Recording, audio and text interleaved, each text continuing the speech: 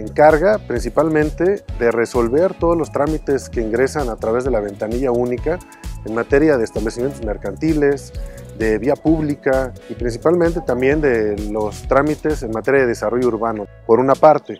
Y la otra, que es también fundamental para el adecuado ordenamiento y cuidado de las obligaciones de la alcaldía, tiene que ver con la materia de verificación de establecimientos mercantiles y de obras.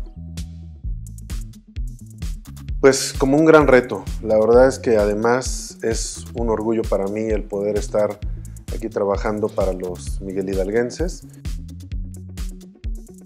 Cambiar la percepción que tienen los vecinos de lo que es el gobierno. Tenemos que darle un nuevo rostro a lo que representa particularmente el área de la acción responsable. Es que ellos tengan la satisfacción de que las cosas se hicieron bien y que se cumplieron las expectativas que le brindaron al alcalde.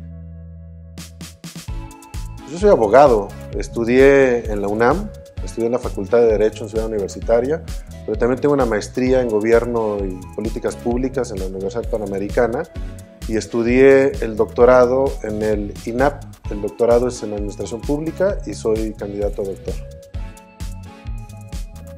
Pues en Derecho Constitucional era una materia que me apasionaba mucho y además sentí que era la que más le entendía. En la ONU, en el Programa de Naciones Unidas para el Desarrollo, implica tener vocación, pero también una gran responsabilidad. Si no te apasiona el, ejercer el servicio público, yo creo que nadie lo disfruta. Y yo la verdad es que sí lo disfruto mucho desde que empecé a ejercer la vida profesional, me he dedicado al servicio público y yo lo disfruto muchísimo.